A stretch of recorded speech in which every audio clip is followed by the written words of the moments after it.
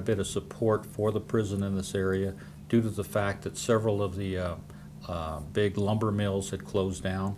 I think at one time Susanville had five lumber mills in this area. Uh, They're down to one operating lumber mill now.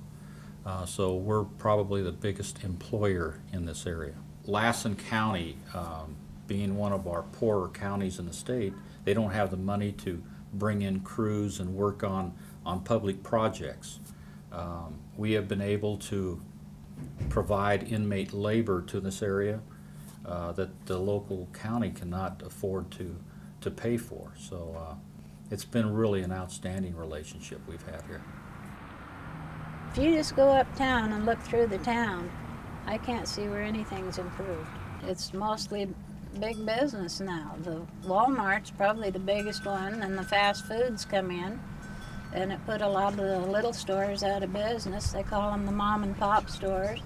It's all big city now. This is a this is a spoon I used to take to my meetings. I don't like being lied to, and so many people lie to you. They had several meetings on the prison at the memorial building, and a lot of them were for it. The farmers were against it, but the city could see money, you know, coming in, and it all boils down to money.